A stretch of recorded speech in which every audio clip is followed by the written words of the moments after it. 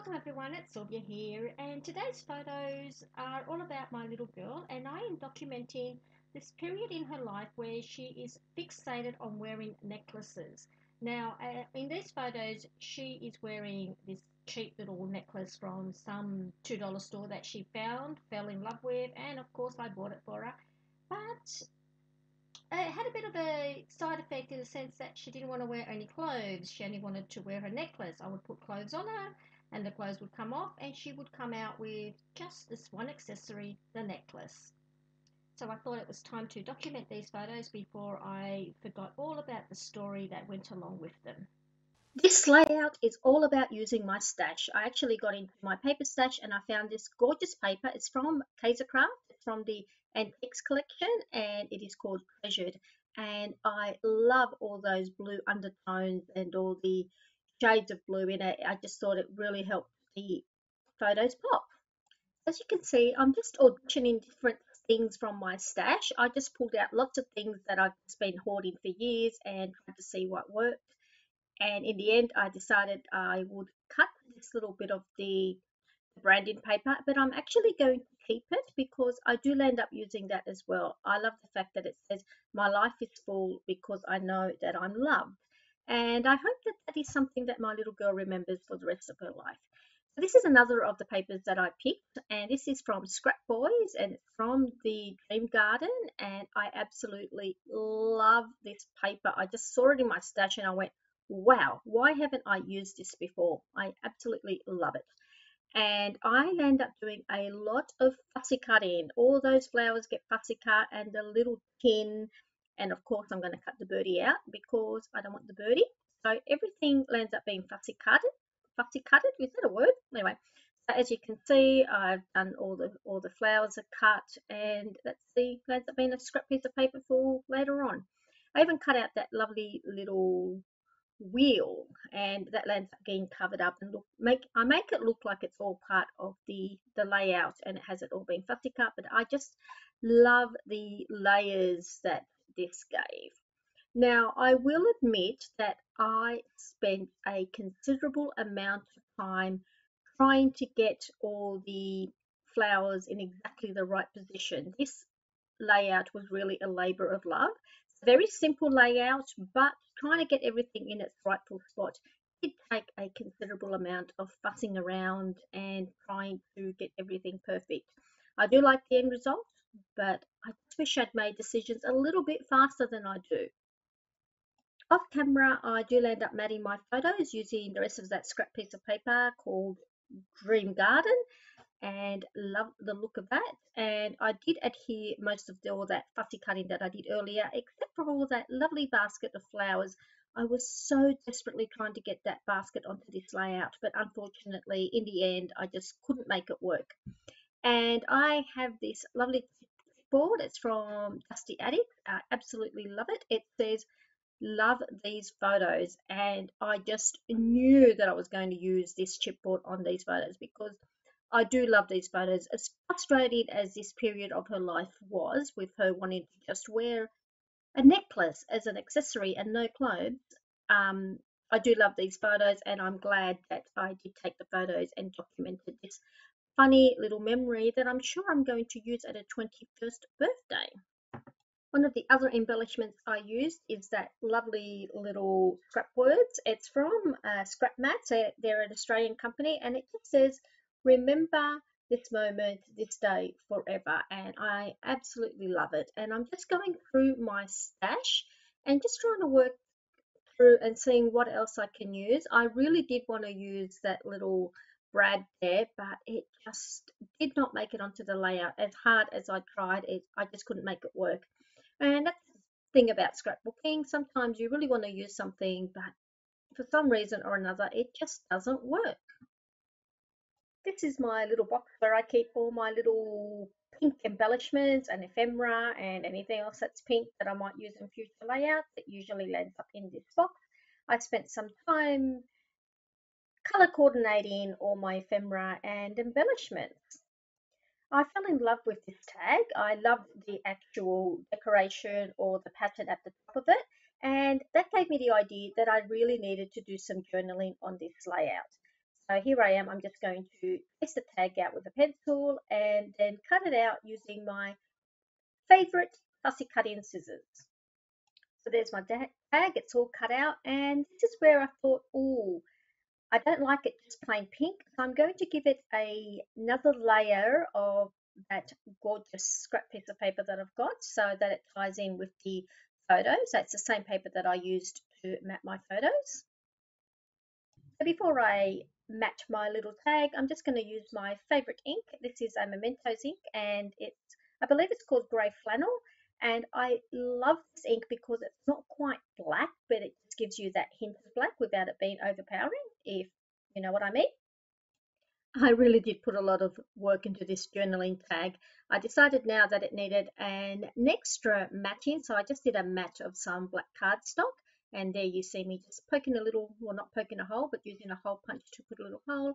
And then just for a to soften the look of that pink and because everything else seemed to have like a dusty look to it I'm just using that grey flannel with my little blending tool just to add a bit more grey into it and soften the pink look.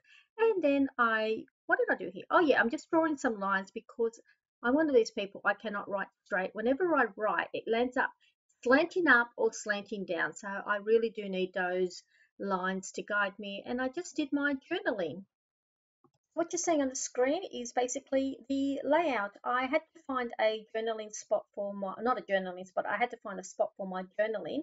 And in the end, it just lands up going just right where it is in that bottom right hand corner. And here I am once again trying to get that lovely basket of flowers onto the layout and I just could not make it work.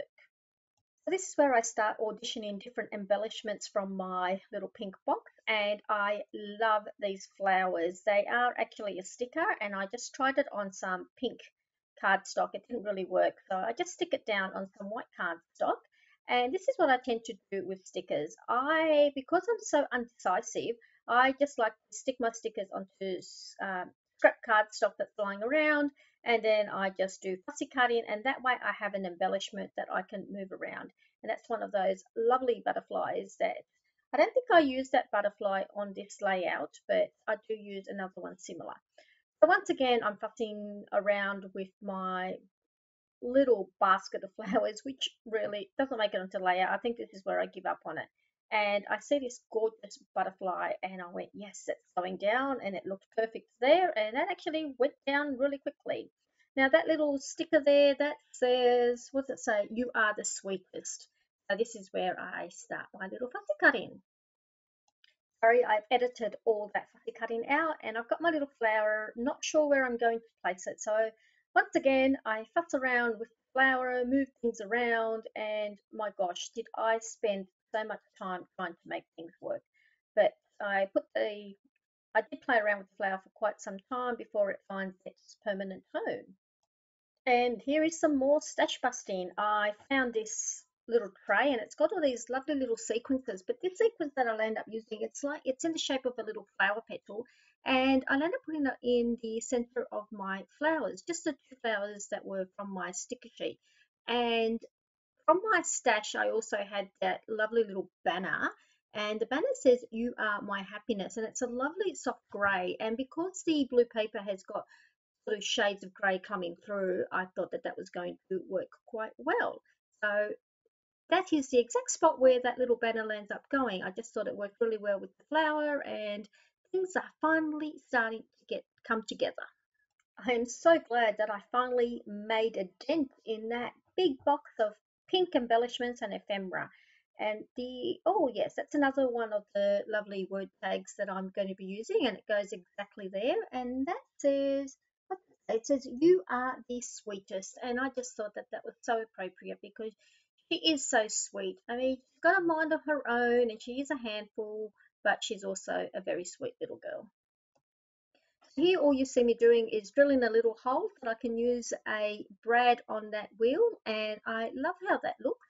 And as you can see on the tag, I've got a, I've got some thread there, but I'll end up taking that out and I'll put another brad there just to tie it in with the brad that I used on the wheel. And here I am fussing around with my title. Love these photos. So where you see the remember this moment, stay forever, that's exactly where that stays. I don't know if I've adhered it down yet, but it does stay there. And I'm just going to stick down that lovely little saying that was the branding strip from my paper that I cut earlier. And this is where I start putting in another little brand to tie it all in. I am so glad that I did some stash busting. This is where I thought, oh, I need to add a bit more black. I just had to balance things out a bit. So I used another one of those scrap mats and it says simple pleasures in life. And my chipboard, I thought, what am I going to do? So I am going to do some embossing. I'm just adding some embossing ink to my chipboard and then I'm going to use some black embossing powder from my stash. And I just love how that looks. I love this embossing powder. It has like a little glitter effect, but you couldn't really see the words love these photos. So I'm just getting a, I think this is a uh, paint pen, a white paint pen. I'm just going over it so that you can see that it says these there. Otherwise, it just all look like it blended together. So coming towards the end of the layout, and this is where I decided that I somehow needed to frame this layout of mine and I wasn't sure how I wanted to do it. I knew that I didn't want to do a match like I normally do. I just thought that was going to be too harsh for this for this particular layout. So I got out my distress oxides and I believe this color is soot or black salt and I'm just using my lovely blending tools here and just going around and just adding a bit of haze around all four sides of this layout and I absolutely love the effect it has and even though the color is black, it just seems to soften everything up and draw your eye to the center of the layout. And that, my friends, is the layout. So there are some close-ups for you coming up.